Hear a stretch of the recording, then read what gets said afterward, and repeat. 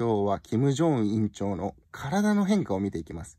うん。すごく彼は変わりました。で、彼何かしらの手術をして今重篤っていうニュースが出てるんだけど、まあ、脳死の状態であるとか死亡説とか出てるんだけど、彼の体もこの8年間ですごく変わりました。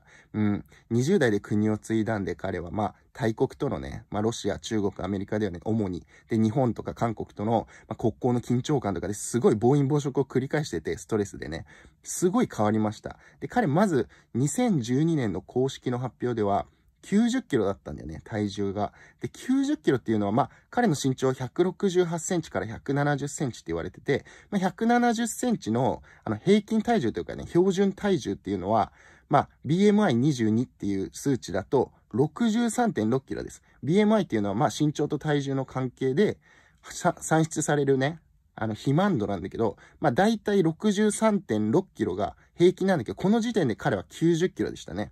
うん。まあまあまあな脂肪を蓄えてるっていうことなんだけど、まあこれはまあジョン・ジェウェットっていうボディビルダーは174センチくらいなんだけど、94キロなんで、まあ大体一緒。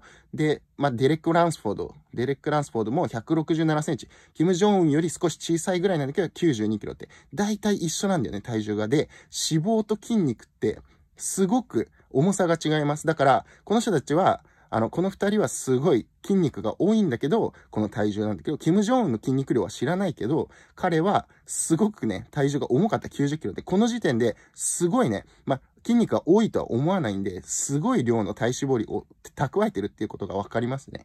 うん。で、2014年の発表ではもう彼、あの、だいたいね、2年で30キロ増えて、120キロらしいです。2014年の時点でね。これはもうジョニー・ジャクソン、もう115キロなんで、まあ、オンシーズンね、ステージの時に。彼176センチで、まあ、全然、あの、キム・ジョンウンよりちっちゃい、あ、大きいんだけど、115キロなんで、この時点キム・ジョンウンが勝ってますね、体重で。で、スティーブ・クークロも180センチあるのに、122キロなんで、もう大体一緒。だから、キム・ジョンウンで相当量の体脂肪率を蓄えてたってことがわかります。まあ、あの、美女とかさ、あの、いくらでも遊べたりしたんだけど、キム・ジョンウンにとって一番依存があったのは、あの、タバコを吸うことと、ね、すごい彼もタバコ吸ってるらしいです。で、暴飲暴食らしいです。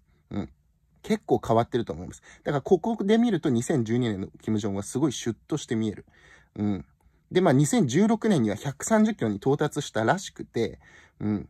まあ前世紀のロニー・コールマンは130キロプラス。そんぐらいだよね。180センチあるけど。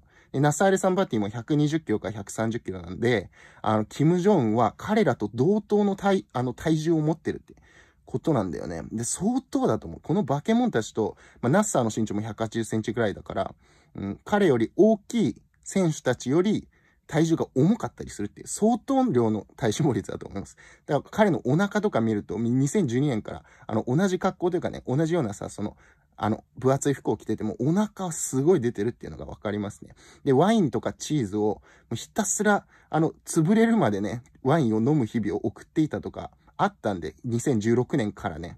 うん。そこでなんかいろいろ問題が体に発生したんだと思います。なんかいろんな病気を患ってた。まあ、痛風だとかなんだとか。まあ、彼まだ36歳なんで若いんだけど。うん。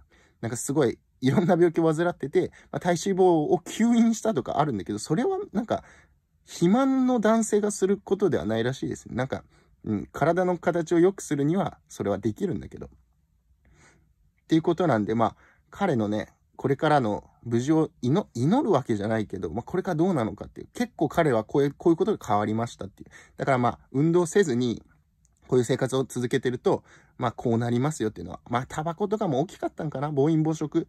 すごいね。で、彼の父親も同じくタバコを吸ってたらしいですね。うん。